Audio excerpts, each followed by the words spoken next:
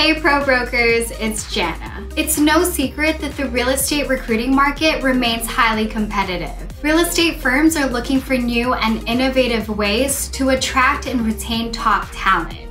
The growing demand for housing and commercial properties, along with a focus on technology and diversity, is creating new opportunities for agents and brokers looking to enter the industry or stay ahead and further develop their career. There is likely more good than bad to come into this changing market.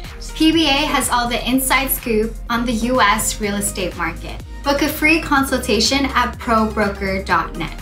See you next week.